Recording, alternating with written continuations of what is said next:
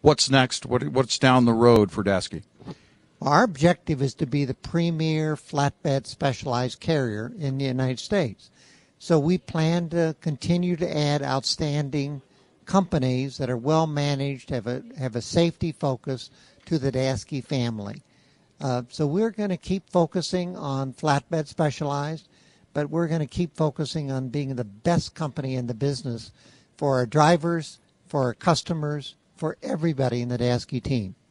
If you could speak to a driver, I know uh, being at the Great American Trucking Show presents lots of opportunities, but if you, on a final word here, have uh, something to say to a driver, whether they're part of uh, the Daseke organization or not, uh, what would you say to that driver? Well, the Daseke family really has opportunities for everyone. Whether you're a, a company employee at one of our uh, company driver at one of our companies, whether you're an owner operator, uh, we have lots of owner operators that work for Daseke. The uh, you know it's we think that that being part of the A team in flatbed trucking is a real opportunity for our people.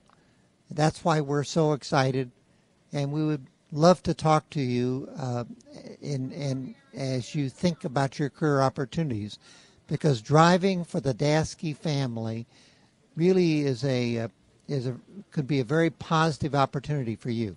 Sure, and you can find them online at daseke.com, d a s e k e dot com. So make sure you look them up and uh, and of course follow along uh, find out more drivers. And Don, thank you so much. Great opportunity for us to be able to sit down with you, sir, and we, we appreciate your time. Well, thank you, Eric. Great to be with you.